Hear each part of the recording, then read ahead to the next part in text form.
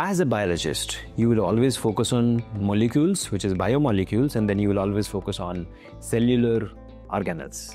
And maybe beyond that, maybe organs or of the body and everything else, right? But have you thought that what is beyond these biomolecules? So we say that's chemicals. What is beyond these chemicals is atoms, electrons, protons, neutrons, right? But have you ever thought about quantum mechanics? How exactly quantum biology is going to revolutionize the world of biology. See, your first chapter in your biochemistry was biomolecules. So the world starts from there.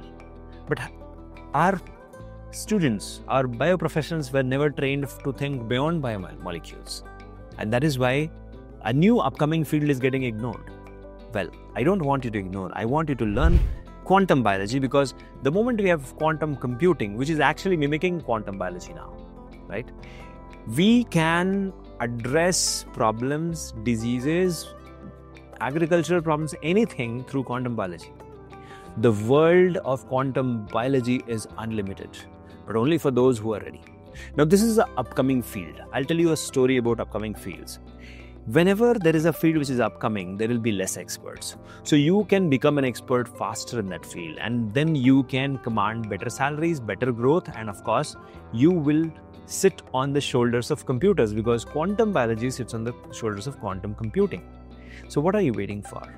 Join the quantum computing and quantum biology workshop, which is happening in first week of August at Biotecnika. Now, this is an online workshop, so you don't have to go anywhere sit for a weekend, half day on Saturday and Sunday, and watch through these live interactions of experts from all across the globe. Scientists will come on this platform, Biotecnika's platform.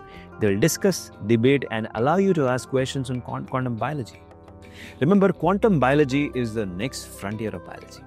And this is the field which is not yet shaped in India, forget US. Anywhere it is not shaped. So if you get in and if you create a reputation, if you publish papers, if you have interest in quantum biology, then this workshop is for you. And that's how you'll grow. Remember, in biology, learning never stops because innovation never stops, because adaptation never stops, because you should never stop because you're a biotechnical. So, what are you waiting for? Enroll in this, register in this workshop, and excel. That's what is my dream. I want to see you excelling in the field of biotechnology. All the best.